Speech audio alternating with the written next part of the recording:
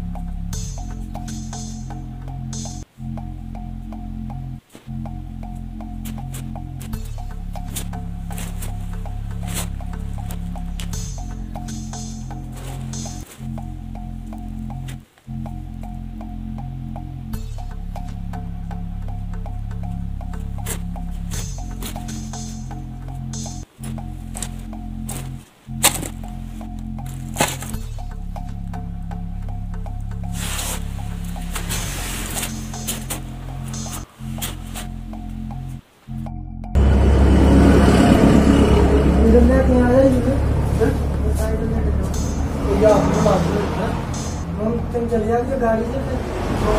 नाम क्या है? कहाँ के रहने वाले हैं? समस्या क्या है? पर यार के पास में हमारे मकान है। मकान है अच्छा। हमारी चोरी हो गई कब हुई चोरी? अभी रात रात को चार पाँच बजे। क्या क्या चला गया? बहुत कुछ चला गया सोना चाहिए और डेढ़ ढाई किलो की सोना चला गया। और? और ऐसी बहुत सी चढ़ाई की चीज़ें चला गया बहुत तो आपने आपने कब देखा? हमारी चोरी हो गई। अभी देखा सुबह नौ बजे। हम्म। और फिर कहाँ गए इसके बाद आप? अब किसके बाद थाने जा रहे हैं। थाने जा रहे हैं। पुलिस क्या कह रही है?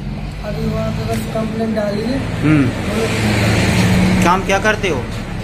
बनाते हैं। चलो प्रजापति हो? हाँ।